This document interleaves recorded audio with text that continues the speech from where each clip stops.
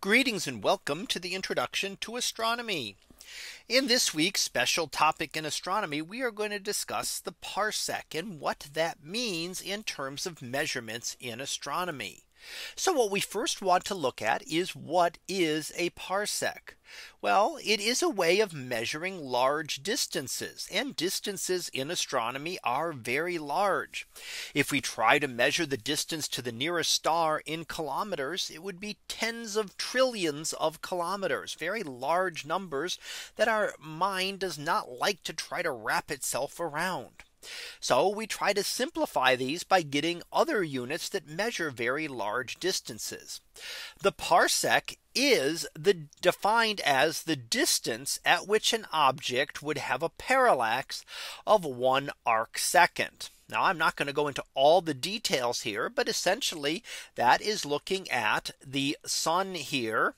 And there is the Earth in the as the planet orbiting around and you have a star out in the distance. At one parsec this angle would be one arc second. Now what is that? Well one degree is equal to 60 arc minutes which are written like this or 3600 arc seconds so what at one arc second would be one three thousand six hundredth of a degree. And our moon would be about a one half of a degree. So it would be one almost one two thousandth the diameter of the full moon.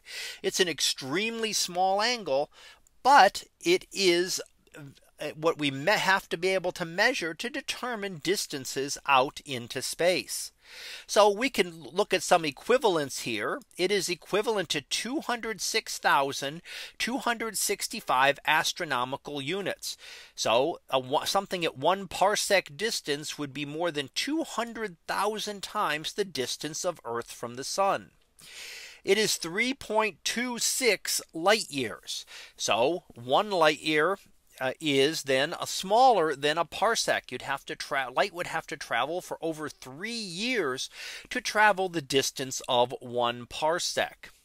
Now, if we want to put that in kilometers, it would be 31 trillion kilometers or 19 trillion miles. So you see why we don't want to use these. These are very large numbers. How do we have a concept of what 31 trillion is?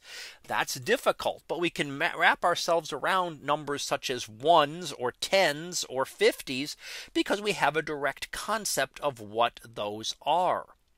So here we can see those we convert those very large numbers and we use things like light years and parsecs for determining distances for the nearest stars. Now let's look at the neighborhood around the sun. And what we see is some of the nearest stars to us. And in fact, we find that there is no star other than, of course, our own sun within one parsec of Earth. So here are some of the nearer stars listed. And we have our sun. And as we go out the distance, we pass the Oort cloud within our solar system. We get to two light years, still no stars. We get to four light years, still no stars. Then we finally get to the Alpha Centauri system a little over four light years away.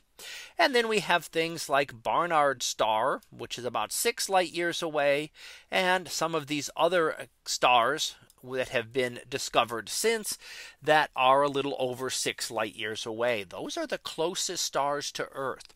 So nothing within one parsec, but it is still a convenient distance to use to measure to the stars to avoid using the very large numbers of kilometers or that, that would be needed to express these distances.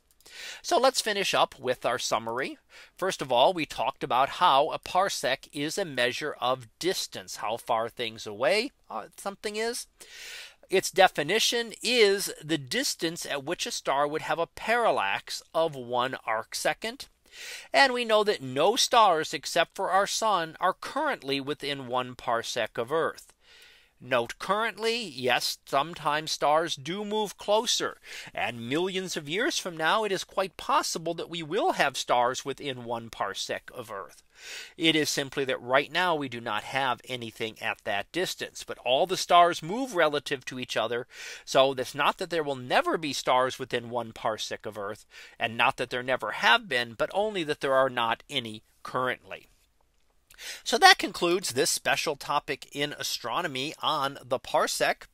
We'll be back again next week for another special topic in astronomy. So until then, have a great day, everyone, and I will see you in class.